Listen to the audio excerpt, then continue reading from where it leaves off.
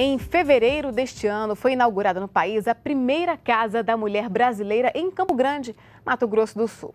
Brasília recebeu a segunda casa.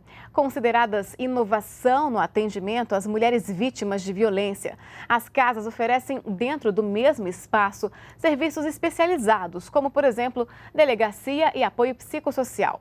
A previsão do governo é de que em três anos, todas as capitais brasileiras tenham uma Casa da Mulher. Por isso, nessa terça-feira, a Secretaria Especial de Políticas para as Mulheres lançou um guia que estabelece as diretrizes e também um padrão de atendimento desses locais. Uma casa para acolher, apoiar e libertar a mulher vítima de violência.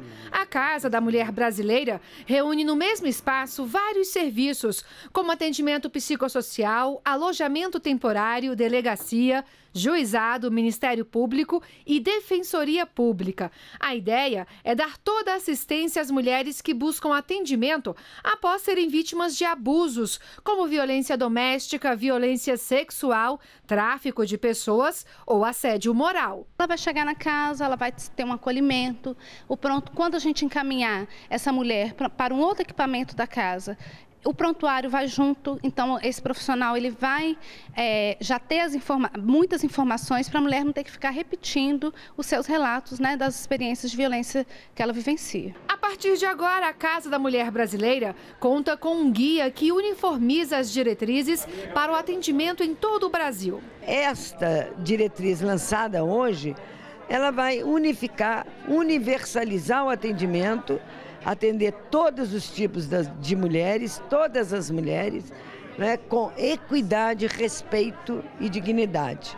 Existem no país duas casas da mulher brasileira em funcionamento. Uma fica em Campo Grande e a outra é essa aqui em Brasília.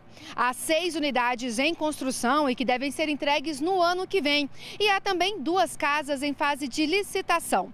A expectativa da Secretaria Especial de Políticas para as Mulheres é que todas as capitais tenham uma casa da mulher brasileira até o final de 2018. De fevereiro a outubro deste ano, a Casa da Mulher Brasileira de Campo Grande recebeu 6.270 mulheres e fez 41.561 atendimentos e encaminhamentos. Nesse período, foram registrados 6.037 boletins de ocorrência e 218 pessoas foram presas. Na unidade de Brasília, de junho a setembro deste ano, foram acolhidas 310 mulheres e feitos 1.000 376 atendimentos.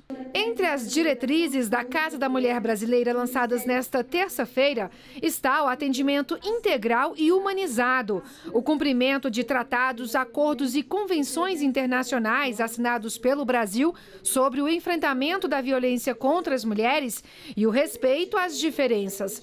O documento também traz todos os protocolos, serviços e procedimentos pelos quais a mulher vai passar desde o instante em que entrar numa casa da mulher brasileira. Nós, mulheres, na sociedade brasileira, temos avançado na consciência dos nossos direitos, temos avançado na luta pela superação de qualquer tipo de violência. Então, quando nós estamos agora lançando as diretrizes e também o protocolo de atendimento, faz parte desse processo, eu diria, um coroamento mesmo desse processo.